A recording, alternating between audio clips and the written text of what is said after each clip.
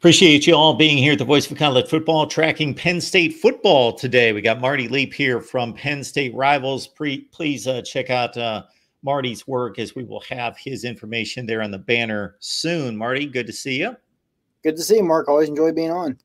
All right. Uh, this one was brought to my attention sometime on Wednesday concerning Penn State head football coach James Franklin. This hasn't really blown up to be like this huge national story at this point, but I'm sure depending on how it turns, it has the possibility. So, facing allegations from a former team doctor that he meddled in the medical decisions of the program's doctors and trainers, one of those involved um, someone who had suicidal type tendencies and others just involved maybe some key impact type players that could or could not be determined to be ready uh, for the next day's game during meetings that were typically held on Fridays, from what I understand. Yeah, I mean, this is something that's kind of been going on for a few years now. Um, I don't know if people remember oh, I think it was two summers ago, I want to say two or three. Isaiah Humphries, a former safety who came out and accused Micah Parsons basically of hazing and bullying people in the locker room.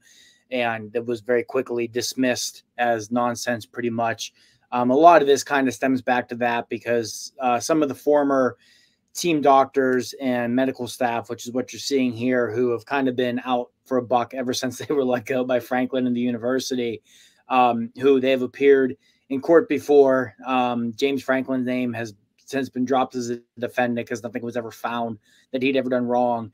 Um, and a lot of it seems to kind of still be stemming from that, where you know they went after the football program, they went after James Franklin, nothing came of it. And now it seems that they're trying to go after the university's like health system. So I mean, I don't expect anything really to come of this, and, and especially it's twofold. One, Penn State fans get extremely frustrated sometimes with how conservative and cautious they have been with injured players.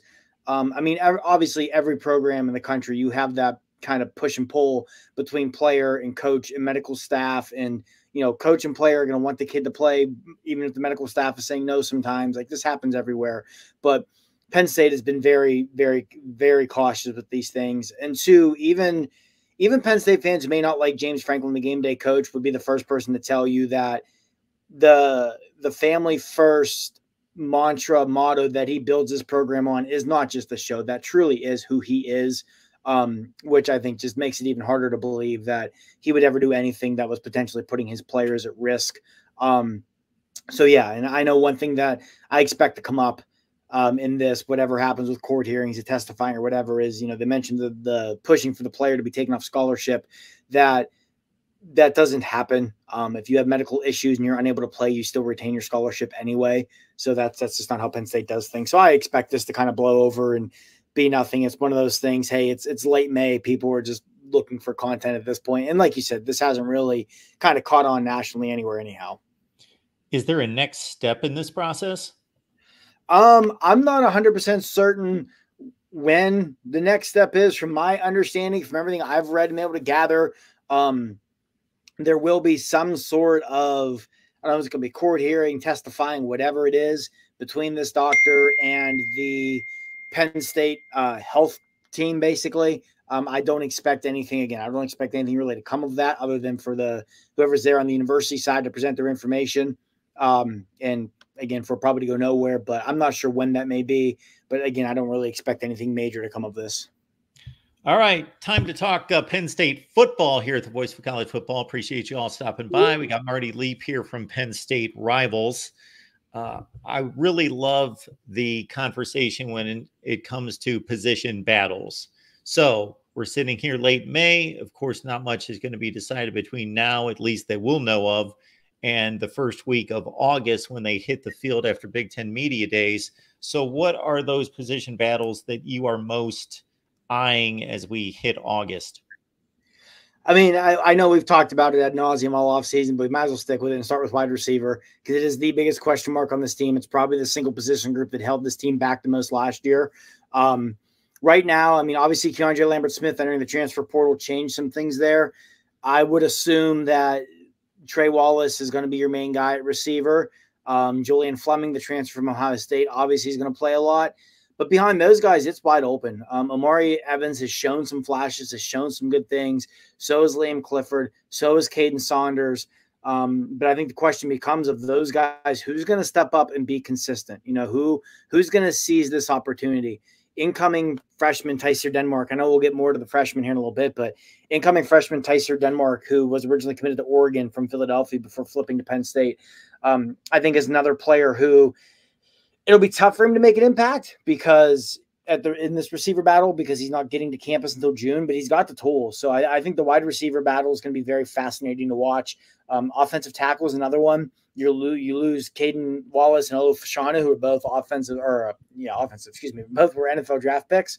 Um, everybody knows Fashanu and Wallace was much better than anybody realizes, and Penn State fans want to give him credit for. Now, one thing that's going to help Penn State there is you have Drew Shelton, who that name sounds familiar. The 2022 season uh, he was a starter for the last like six or seven games of the year as a true freshman, including in the Rose Bowl. Um, so he has a lot of starting experience. He missed the spring due to injury, though, but I expect him to be a left tackle. But right tackle, you have Nolan Rucci, the former five star who transferred in from Wisconsin. You have Anthony Donkoh, who this staff is insanely high on and started in the Sugar Bowl last year, or the Peach Bowl, excuse me, the Peach Bowl last year. Had a great showing in that game against Ole Miss. So that offensive tackle battle will be one to watch as well. And cornerback, too, because, you know, at cornerback, last few years, few schools have produced talent at cornerback the way Penn State has. Um, and this year, you don't have the experience. There's plenty of talent. AJ Harris, another transfer from Georgia, who some places has a five star recruit, has come in and seemingly grabbed the bull by the horns. You have Cam Miller, who's played a lot for them in recent years. Um, Jalen Kimber, another transfer with a lot of SEC experience. Zion Tracy's a young guy the staff is very high on. Um, Audavion Collins, who last year was primarily a special teams guy for transferring from Mississippi State, made huge strides this offseason. So I think the three biggest battles to watch are going to be wide receiver, offensive tackle, and cornerback.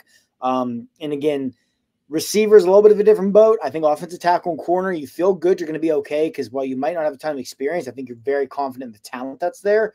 And then wide receiver, you know, it's a matter of is is somebody going to step up finally, like we've been waiting – for since Parker Washington and Mitchell Tinsley left after the 2022 season. Um, I do think though, you know, the the Keandre Lambert Smith, he's extremely talented, obviously, but he wasn't always the best you know, just influence, we'll say, to have in that room, work ethic wise and attitude wise. And that's kind of your veteran guy. That's not good. So I do think replacing him with Julian Fleming as kind of that veteran leader in the wide receiver room, that alone may go a long way with how that battle shakes out. The Amazon link is in the description section, folks, of all the videos. If you use the Amazon link, it's uh, transparent to you, doesn't cost you a penny, same shopping experience. It links right to your account. There are no issues there. Believe me, try it out. The Amazon links in the description section.